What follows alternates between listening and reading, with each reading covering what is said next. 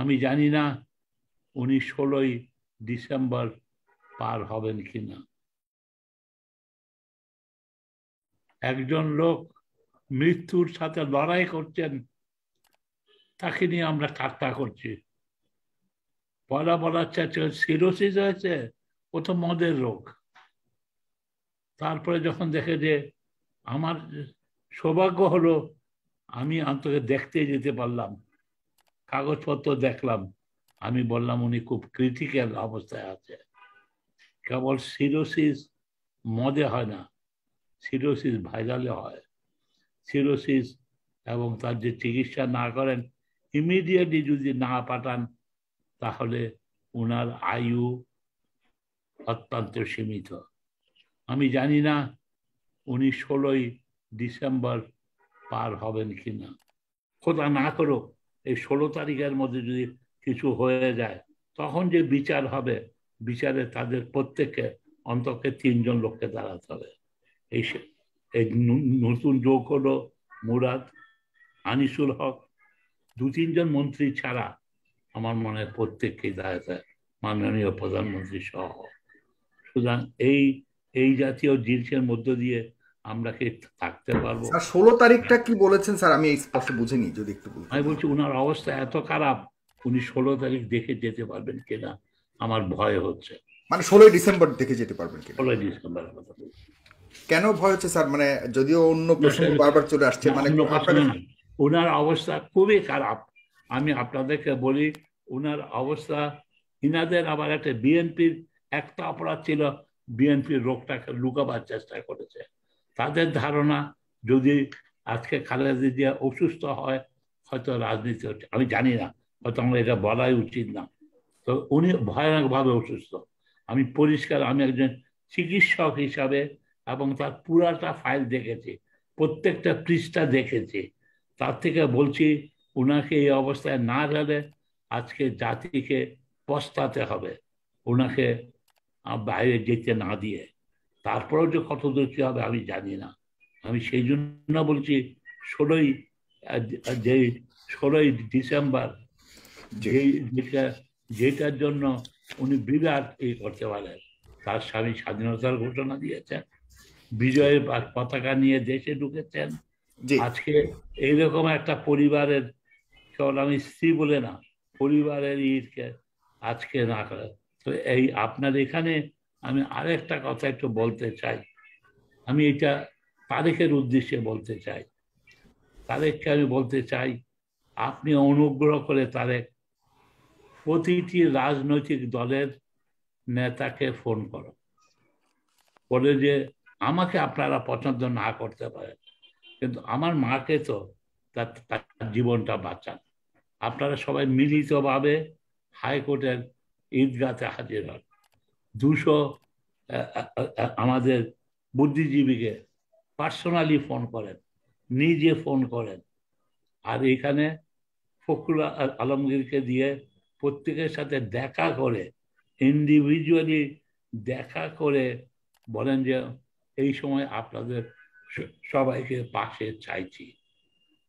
আর তারপরে আমি মনে করি, যদি এটাতে আর এই একটা অমানুষের সরকার, একটা অমানবিক সরকার, একটা ইনারা ওনারা নাফিয়া, একটা মাফিয়া সরকারের কাছে চাওয়ার কিছু নাই। আর দেরি না করে সম্পূর্ণ যে ছয়জন তাদের এমপি আছেন, তারা পদত্যাগ করে দেওয়া উচিত। আজকে সৌদি আরবিয়ার যে ব্যাপারটা, এটা কিন্তু খালেদা জিয়ার সাথে একটা রাজনৈতিক সম্পর্ক আছে। তারা খালেদা জিয়ার প্রতি যে এই- মনোভাব, এই করছেন, এটা সাদি আরব পছন্দ করছে না। আজকে এর প্রতিক্রিয়াও কিন্তু আছে। আজকে বরঞ্চ খালেদা জিয়াকে বাইরে পাঠিয়ে দিয়ে, এমনকি বরঞ্চ একটা চিঠি লেখা আরবকে তোমরা আমাদের নেত্রীকে চিকিৎসা করবা কিনা বলো। তারা বলবে যে, না, তোমরা এটা বিদাতে পাঠিয়ে দাও আজকে। এবং এই যে সম্পর্কটা আছে যেটা জিয়াউর রহমান তৈরি করেছিল এরশাদ তৈরি করেছিল আর এরা আওয়ামী লীগকে তো জানে ভারতের এজেন্ট মোশায়েদের এজেন্ট মোশায়েদ এবং রয়্যাল এজেন্ট এই জন্যই আমার মতে একটু নতুনভাবে সরকারের রাজনীতিবিদদের ভাবার দরকার আছে। ভাববে কি? ওই যে বললেন না এক এক ডাক্তার পাগল না হলে এইরকম উন্মাদ উক্তি করে কেউ? এই জাতীয় এক এই জন্য বলছি সরকার কার একটু মানবিক না হলে এইসবের সমাধান হবে না। আজকে মানবিক না হলে আমাদের এত হাজার হাজার যে আমাদের আমাদের সৌদি আরবিয়া হলো সবচেয়ে বড় আমার এই পাড়া। এখানে আমাদের এই পাড়া দরকার। আরও সিরিয়াস হতে হবে এবং দর্শক আপনারা এতক্ষণ যারা শুনেছেন দেখেছেন আপনাকে অশেষ ধন্যবাদ। আপনার সবাইকে অশেষ ধন্যবাদ জানাচ্ছি এবং আমার কাছে মনে হয় সমন্বিত কোনো যদি উদ্যোগ না নেওয়া হয় এটা আপনাদের যে উদ্যোগ নিতে হলে তো পয়লা পয়লা রাজনীতিবিদদেরকে নিতে হবে। তাইলে খুন করার রাজনীতিবিদরা তো ফেলিউর হচ্ছে। এখন সাধারণ মানুষকে নিতে হবে হয়তো দাবি জানানোর জন্য হ্যাঁ। অন্তত যে যার যা সেটা নেবে তখন দেশ কোন দিকে যাবে বলা মুশকিল। এখন তারা যেটা করছে এটা খুনের দিকে নিয়ে যাচ্ছে। তারা খুনের জন্য দায়ী হবে। ডাক্তার মুরাদ কি বলেছে? আমি শুনি নেই এবং আমাকে কেউ বলেও নাই আসলে। আর তারপরে এখানে কোথায় মামলা করবেন আপনি? এখানে ইনারা তো তো হিউম্যান বিং না। যেখানে একটা মরণাপন্ন রুগীকে আইনের ভাওতাবাজি করে বাইরে পাঠান না। যেখানকার জজ সাহেব, চারজন জজ সাহেব, তারা সুও মোটর করেন না। তারা সরাসরি সুও মোটর করে ওনাকে বেল দিয়ে দিতে পারেন। সেখানে এ- এ- কি মানবিক? ইনাদের কাছে করার কোনো অর্থ হবে?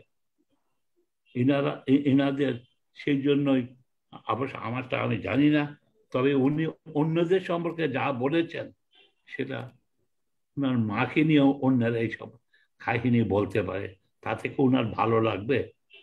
তা আমি মনে করি যে হয় কি এইসব যারা সাধারণত হয়তো যারা এই জাতীয় কথা অত্যন্ত অন্যায় কাজ করেছেন ডাক্তার মুরাদ, উনি করেছেন এটা খুব সোজা কাজ। সোজা কারণ, উনি আমার প্রধানমন্ত্রী পা চেটেছেন, জিব্বা দিয়ে পা চেটে রেলে করে পা চেটেছেন এই জন্য যাতে উনাকে পুরা মন্ত্রী বানায়। এটা না বোঝার মতো আমাদের কারও কারোই নেই। তবে উনি অমানবিক কাজ করেছেন। উনি জঘন্য কাজ করেছেন। ওনার এইসব, সব দিন, এই দিন যাবে না। সুতরাং সেখানে এটাতে মনে হয় কি, উনি যেহেতু ক্যান্সারের ডাক্তার ওনার মস্তিষ্কেও হয়তো ক্যান্সারের বীজ ঢুকে গেছে। তা না হলে এইভাবে কেউ বলতে না। আজকে বীরঙ্গনার তালিকা আছে চারশো চল্লিশ জন। তার মধ্যে আবার এই চারশো চল্লিশ জনের নাম ঢোকানোর জন্য ঘুষ দিতে হয়েছে, লুটপাট করতে হয়েছে এবং এইটা নিয়ে সরকারের কোনো মাথা ব্যথা নাই। মাথা ব্যথা থাকবে কি করে? আমাকে, আমি নিজে কানে শুনি নেই একজনে আমাকে বলছিলেন, এক ভদ্রলোক, ক্যান্সারের ডাক্তার, সরকারের উপমন্ত্রী। তিনি আরেকটা দলের নেতা সম্পর্কে যেই কথাগুলি বলছিলেন, কোন সজ্জনের মুখ দিয়ে বেরোবার কথা না এটা একমাত্র মস্তিষ্ক বিকৃতি হবে। অথবা হাসিনার পা চাটলে তার পুরা মন্ত্রী হবেন এই ভরসায় বলতে পারেন। আমি সম্প্রতি খোঁজ করছিলাম যারা এই বীরঙ্গনাদের একটু ছোট সাহায্য করতে চাই। আমি বহুদিন ধরেই বল, বলে লিখে দিয়েছিলাম, বীরঙ্গনা যদি কেউ হয়, তার চিকিৎসার জন্য কোনো পয়সা খরচ লাগবে না। তার সব চিকিৎসা ফ্রি হবে, তার সব ওষুধ ফ্রি হবে, হাসপাতালে ভর্তি ফ্রি হবে, তার পরীক্ষা সব রকম টেস্ট ফ্রি হবে এক্স রে আলট্রাসোনোগ্রাফি ইকো সব কিছু ফ্রি হবে। কেবল ফ্রি হবে না খাওয়াটা। আমি লক্ষ্য করলাম, বড় বড় করে এটা টাঙ্গিয়ে দেওয়ার পরও আমার পর্যাপ্ত বীরাঙ্গনা আসছেন না। এই মুহূর্তে আমার হাসপাতালে মাত্র দুজন বীরাঙ্গনা আছেন। তাদের কাহিনী যদি শুনেন,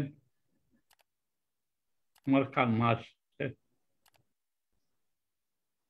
তার তখন বয়স ছিল তেরো বছর।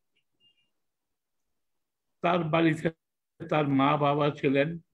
বাড়িতে ঢুকে ওই তেরো বছরের মেয়েটাকে তারা সর্ব লুণ্ঠন করেছে।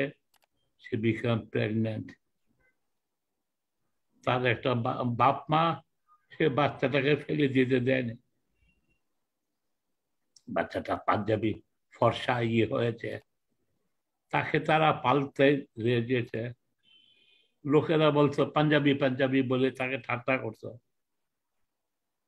তারপরে একটা গ্রামের একটা ছেলে সাথে বিয়ে হয়। সে, সেই সেই, সে কখনো পাঞ্জাবি বাচ্চা বলে তাকে ঠাট্টা করে নেই, ছোট করে নেই, কান্না করে, কিন্তু সে মারা যায়। আজকেও সেই মহিলা তাকে তেল পালছে। এর নামও কিন্তু এই বীরঙ্গনার খাতায় নাই। এই যে মুক্তিযোদ্ধারা যে বিশ হাজার টাকা পায়, এর এক পয়সাও এই মহিলা পায় আজকে বলেন, এই অবস্থায় এই জাতীয় লোক নিয়ে আমরা আমরা কোথায় তার জন্য কি করব? পয়লা নীলিমা ইব্রাহিমে লিখেছিলেন আমরা আর কেউ, কোনো রুগী নেই। সবাই এখনও এটাকে সরমের ব্যাপার মনে করে। এই মিথ্যাচার চারশো চল্লিশ জন মানেই সরকার তো মিথ্যাচার করছে, তাই না? এই দুঃখ কি কি করে রাখব আমি জানি না।